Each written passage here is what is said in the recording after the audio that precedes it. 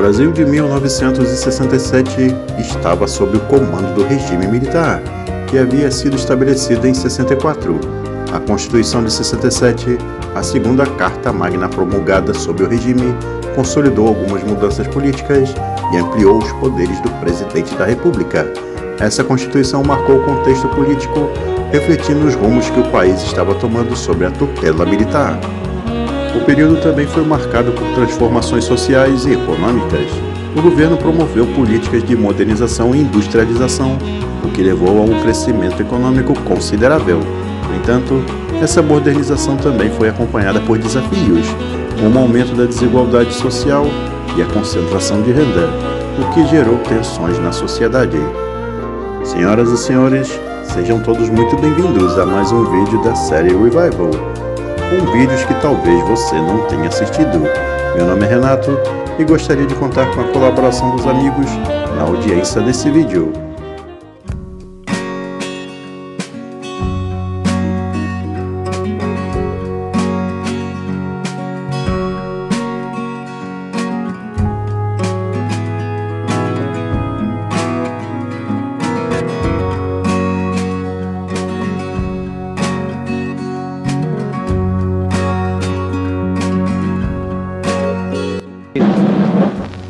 Senhoras e senhores, muito boa noite. Esta é mais uma edição do seu Repórter Esso. Embarque conosco nessa viagem até o ano de 1967. Agora vamos aos fatos que marcaram o ano de 1967. A Guerra do Vietnã continuava. No final do ano, o número de soldados norte-americanos atingia 463 mil, com 16 mil mortes em combate até a data. Foi também nesse ano que soldados bolivianos matam Che Guevara no vilarejo de La Higuera, na Bolívia. A banda britânica The Beatles lança em 1 de junho de 67 seu primeiro álbum conceitual, em que todas as canções estão ligadas. Sgt. Pepper's Lonely Hearts Club Band foi um dos álbuns mais vendidos em toda a história da música popular. Os três tripulantes da Apollo 1, Bruce Grissom, Ed White e Roger Sheffer, morreram em um incêndio durante o teste no dia 27 de janeiro de 67. É considerado uma das maiores tragédias da história espacial americana. Poucas guerras foram tão curtas e tiveram consequências tão amplas e duradouras. Entre os dias 5 e 10 de junho de 1967, Israel enfrentou simultaneamente os exércitos do Egito, Síria e Jordânia e impôs a todos uma derrota fulminante no conflito conhecido como a Guerra dos Seis Dias. Chamado de Verão do Amor, Summer of Love, foi um fenômeno social com manifestações em várias partes do mundo em meados de 67, durante o verão do hemisfério norte. A passeata pela paz realizada no dia 15 de abril de 1967 em Nova York é considerado um marco do início desse fenômeno social. O pugilista Muhammad Ali foi banido do boxe por sua recusa de ser introduzido no exército dos Estados Unidos. Em 20 minutos, o júri considerou culpado e ele foi condenado a cinco anos de prisão federal. Ele recorreu em 1971 à Suprema Corte e anulou a sua condenação. No Brasil, no dia 24 de janeiro de 67 foi aprovada uma nova Constituição. Era a sexta Constituição de nosso país, e o nome do Brasil agora passa a se chamar República Federativa do Brasil, e vigorou até a próxima Constituição de 1988. Com relação às novelas, na TV Globo era exibida a novela Rainha Louca, uma novela de época que foi exibida durante o dia 20 de fevereiro e 16 de dezembro de 67.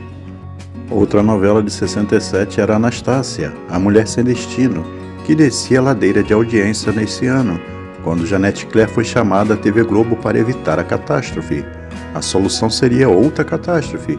Janete Claire inventou um terremoto para matar 35 personagens sem rumo da novela e assim retomar o fio da história. No terceiro Festival de Música Popular Brasileira, promovido pela TV Record, o primeiro lugar foi para a música Ponteio, Dia do Lobo e Capinã. E agora vamos ver as músicas mais tocadas nas rádios no ano de 1967.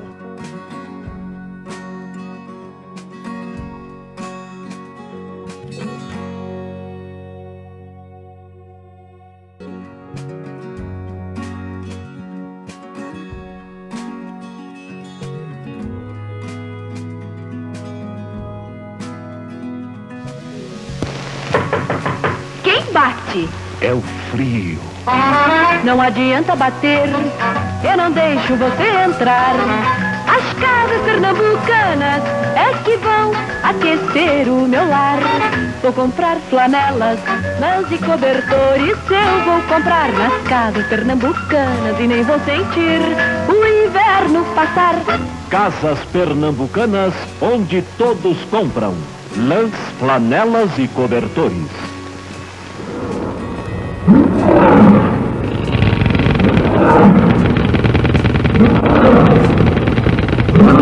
Prepare-se para ver os novos modelos Volkswagen 67.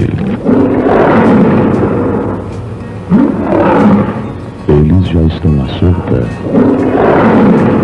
O sedã Volkswagen de 36 HP vem agora com um motor de 46 HP.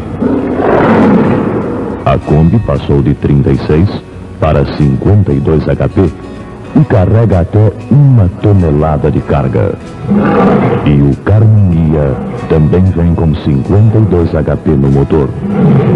Com estas e muitas outras inovações, eles já estão à solta.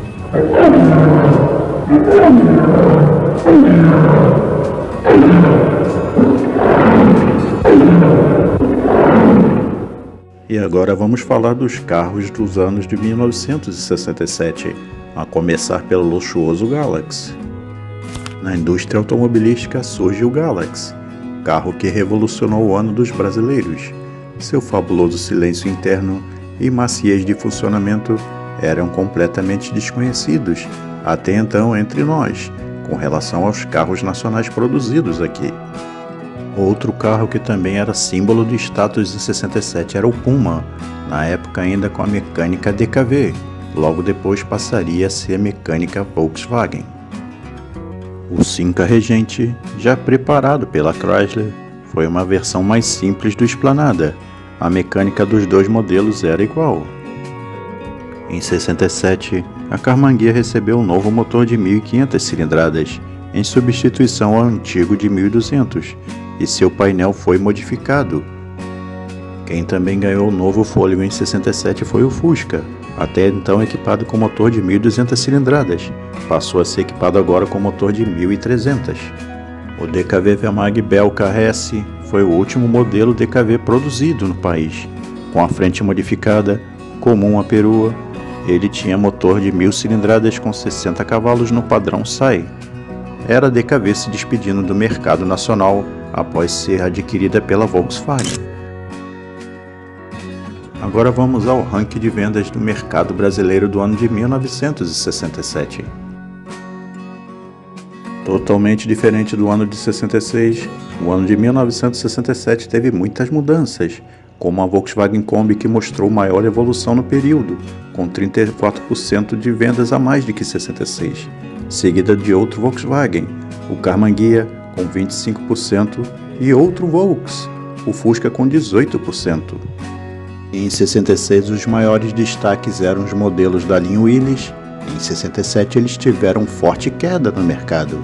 A Willys Pickup, por exemplo, que era a sexta mais vendida do Brasil no ano anterior, despencou para 11 uma queda de 57%. Já o Jeep Willys, o terceiro veículo mais vendido de 66, caiu para a sexta posição, com queda superior a 40%.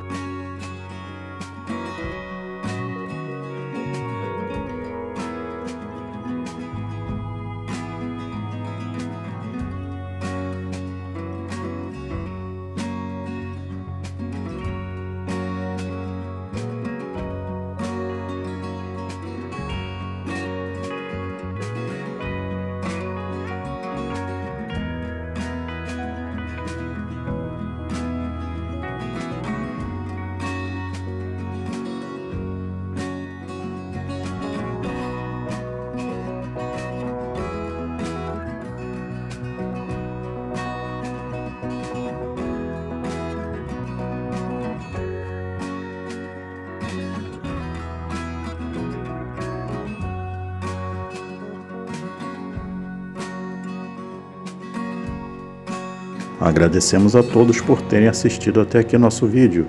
Não esqueça de deixar seu curtir e compartilhar com seus amigos. Se não for inscrito ainda em nosso canal, se inscreva